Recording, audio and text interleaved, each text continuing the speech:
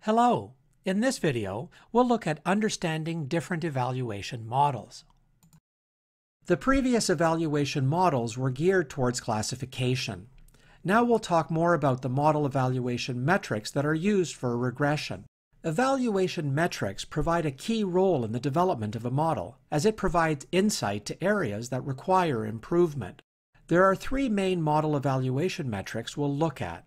They are mean absolute error, mean squared error, and root mean squared error. But before we get into defining these, we need to define what an error actually is.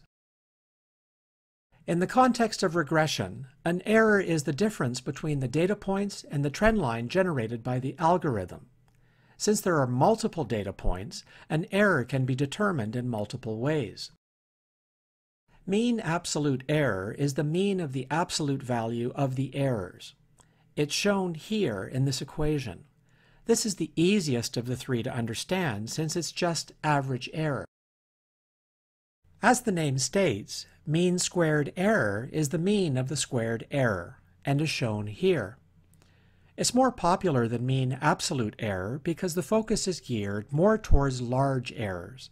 This is due to the squared term exponentially increasing larger errors in comparison to smaller ones. Root mean squared error is the square root of the mean squared error, and is shown here. This is the most popular of the three because root mean squared error is interpretable in the same units as the response vector, or y units, making it easy to relate its information. Now, let's quickly review some key points.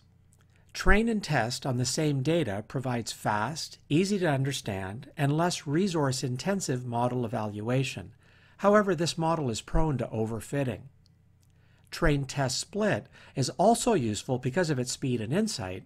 However, it has a high variance based on where the split is taken. K-fold cross-validation overcomes the high variance by taking multiple train test splits and averaging them out, However, this is highly resource intensive and lacks speed. Thanks for watching.